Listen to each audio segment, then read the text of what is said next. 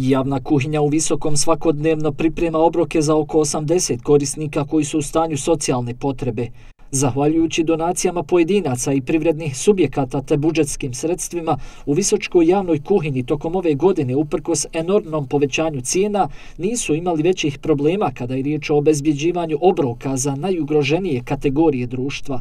Javna kuhinja u Visokom e, egzistira od decembra 2014. godine, znači evo devet punih godina egzistiramo i hvala Bogu do sad nismo nailazili na probleme.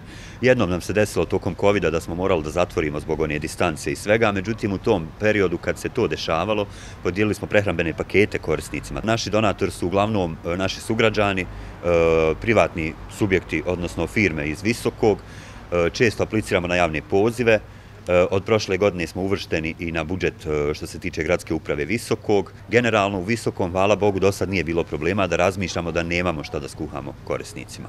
Prema riječima Belmina Debelca u 2024. godini očekuju da nastave sa svojim redovnim aktivnostima te vjeruju da će imati značajne donacije koje su od velike pomoći za rad ove kuhinje. Mi standardno obilježavamo mjesec Ramazan tako da malo pojačamo obroke. Imamo standardnog donatora koji toko mjeseca Ramazana obezbijedi kompletnu hranu za taj mjesec Ramazana gdje bude i slatko, bude i dodatno.